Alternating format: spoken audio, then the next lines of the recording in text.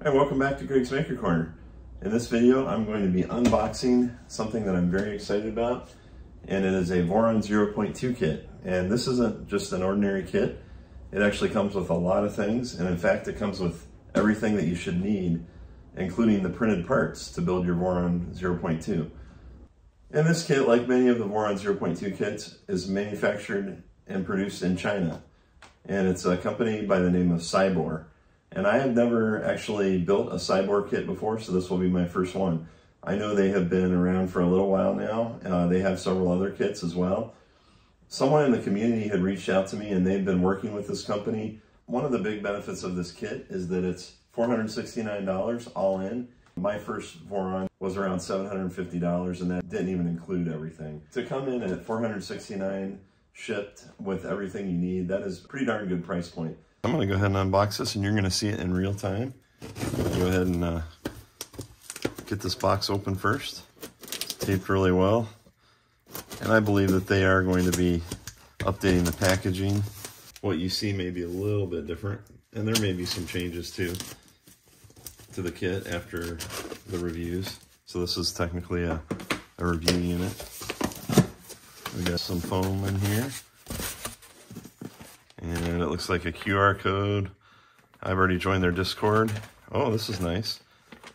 So we've got a wiring diagram. Wow, look at this. Look at these parts. So I was curious how these parts would look. And I can say that they look pretty good. It looks like they print these on a textured plate. Um, the parts are somewhat assembled here on the mini stealth burner. Yeah, that looks like it fits well. Here's the piece where the belt's going. And the little back for the tool head. These are pretty handy. These are for um, the bed. So they do. it looks like they do include some of the tools that are recommended. I think I'm just gonna leave these in here and just take out a few parts just so I don't lose everything. Oh, here's the jig too. Oh, cool. It's even got like a little washer in there. Here's the AB drives. Yeah, those look nice. My understanding is that this is eSun ABS, and I actually did buy a couple rolls just in case I need to reprint anything or print different parts later down the road. So eSun ABS Plus, it's not bad. It's definitely a good budget ABS filament. I usually typically will use Fusion ABS or Polymaker ASA in the past. I don't see any warping on these parts, which is good. Maybe a tiny bit of elephant's foot, but that's not bad. Just very tiny. Yeah, I mean, I don't see any issues with the extrusion. Initially, I was thinking maybe the top layer is a little over extruded, but I think it looks good. So I'll keep moving on. Next up, we've got some more parts. And it looks like the skirts are here. Yeah, these these are usually pretty tough parts to print. They look really good. Everything is nice and uh, nice and filled in. I don't see any holes or, or spots here. Sometimes you'll see that. Yeah, no warping. Looks nice and flat. And now we've got the extrusions. I am curious how these look, but yeah, they look great. Um, they are tapped. The taps look pretty clean. And I'll, I'll be double checking everything with the extrusion links and then here are the parts for the bed. So those look good as well. Imagine the top hat parts are in here too. So I think all the extrusion is probably in here. There might be another sheet with it. What I do like, I really like these trays. This is really nice, nice and organized. We've also got, it's like parts for the screen here. And here's all the panel clips. And next up, oh, this is cool. I'm not sure what it is. Let's take, take a look. Oh, nice. This is the hot end. So I understand this is a type of CHT. So it's basically like a kind of like a Revo clone, I believe. Um, it's got a hot end sock on it. I, I do not have any experience with this hot end, but I do know that it's similar, I think, to the Dragon. And it even uses the same mounting holes as the Dragon hot end. And in terms of flow rate, I believe you can expect that. I plan on doing some benchmarking on that. I also believe this is a V6 nozzle. This should come off. Yep. That wasn't hard. And you can see a little bit more of a close-up there. These are starting to gain popularity, of course, with the Revo. And then we've got a Voron Zero display, and it looks like it's got the USB connection. So I know there's a simple display and there's this full uh, V0 display, and this is the full V0 display. You do have to flash Klipper to it, but it's a good display. Looks like a USB cable here, and that's for the display. Also got our fans. Huh, never heard of this brand. 3D Geek Station. Uh, we've got two cooling fans, and then we've also got just an unbranded generic fan here, and these are 24 volts. So these are you're going to use one of these on your hot end and one of these for the um, the bottom. Hey, as long as they spin and cool, we're in good shape, and I, I think they will.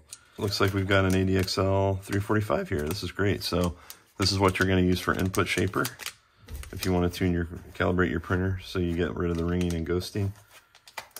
And I'm not sure what this is. So it might be the Wi-Fi uh, chip. So we've got a Voron 0.2 fastener kit, nice and organized. It looks like it's got the bearings, the heat inserts, all the screws you're gonna need. So I'll go ahead and open that up. Oh, cool. It's even got all the, the BOM right up here, so you know where to reach and grab. That's really nice. That's gonna make finding screws very easy. I know in the past when I've done builds, you've probably seen me where I have a bunch of bags laying around, so sometimes th this is gonna be really handy because just finding bags can be a chore. So I like how they did that. It's a great idea. We've got a loom here and it looks like it's a split loom, which is my favorite kind. So all of your wires from your tool head to the back to the uh, back the, to the control board We'll go through this. And we've got some pre-crimped wires here. And this looks like it's going to connect probably to the power supply. So I like how they've already got the terminals on here. Uh, we've got some end stops. I'm guessing that's for the Z because you don't need them on the X and Y anymore. And that's a motor cable. We got some belts. See if we can identify the belt. So it does appear to be a Gates belt, which is good. A Gates Power Grip GT, which is what you want. TFE tube. Oh, this is kind of cute. It's a little uh, 24 volt, 60 watt DC bed. It also appears to have a fuse already wired in, which is a nice perk. Um, it's got the wires pre-crimp. I know I'm used to seeing maybe a different kind of connector, but I'm also used to using a different kind of board. So here's the thermistor. So we've got the magnetic sheet. Looks like it's a 3M version, which is good. We've got PEI on one side and textured on the other. And then we've also got, it looks like a fairly, fairly thick aluminum bed here. And it looks like it's been pre-drilled and countersunk. And yeah, that's what I would expect. It looks about as thick as the normal beds would be. I'm going to measure it real quick. Yeah, so six millimeters, right on point. And then in this section, it's going to be our control board with some different pins. And I'm not used to whatever this is, but I will definitely be looking into it. And then here is the, I believe it's a Gemini Fly version 3. I think. So I, I've never used this board before, but it does have kind of the equivalent of a Raspberry Pi on board, and it also has, of course, the printer MCU, and it looks like all of the drivers are pre-installed, even with the heat sinks. And it's got the, I can see a lot of the different connectors here. Those appear to be JST, probably XH, they look bigger. And then we've also got USB and an Ethernet port. Everything we're, we're gonna need for the control board and Pi is already here. This, that'll be new for me because I've always gone Raspberry Pi. And then we've got some some motors here. And these are branded Cibor or Cybor. So uh, hopefully we can find the specs on those because we'll need to. And then we've also got a pancake stepper and this is a Moons, genuine Moons. That's nice. That's a good quality motor. And it looks like we also have the anti-backlash nut. We've got the Z motor here, and this is Mokotech. Have not heard of them, but it looks like it's going to be perfectly cable, capable. And then we've got a couple of these motor pulleys, and they look pretty decent. Don't see any issues there. There are so many trays here. It's the kit that never ends. I love it. Now, it looks like we've got the rest of the extrusions here. I was kind of wondering where those were. And I'm not even going to take that out yet. Oh, this is nice. So not only do you get a couple of Allen keys, you also get actual screwdrivers. So that's really cool. I've never seen that in a kit before.